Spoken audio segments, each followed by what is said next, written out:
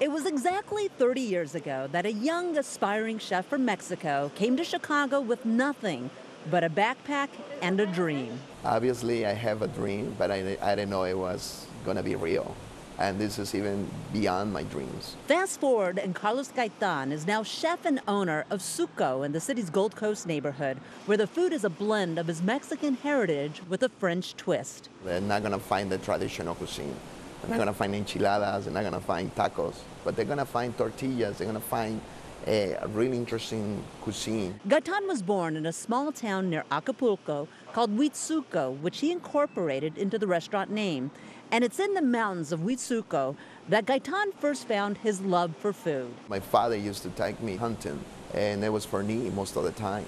And we didn't do a sport, so when we were in the fields, uh, we used to prepare the animal it was just my father and I, you know, in the mountains, and, and, it was just amazing. And in the kitchen, it was his mom who inspired Gaytan to think outside of the box. My mom, she was really creative all the time.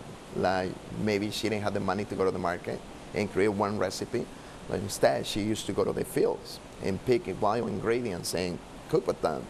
And she did an amazing, amazing job. In fact, Tzuco's top selling dish is his mom's cochinita pibil, a delicious marinated pulled pork.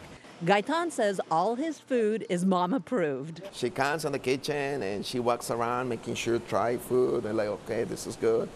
I like that. In 2013, as owner of the now closed Mexique in Westtown, Gaytan became the first Mexican born chef to earn a coveted Michelin star, but it didn't come easy. One of the things that people do not realize that you had to lose or you had to stop being scared about things, you know, because everything can happen. If you really desire and you work really hard and you sacrifice so many things, it becomes real.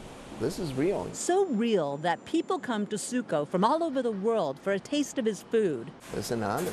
It's an honor uh, just to be here in Chicago and share everything that I know what to do with people. You know, they're not just locals. This is a must stop. And like, hey, this is one of the best Mexican restaurants in the world. Stacy Baca, ABC 7 Eyewitness News.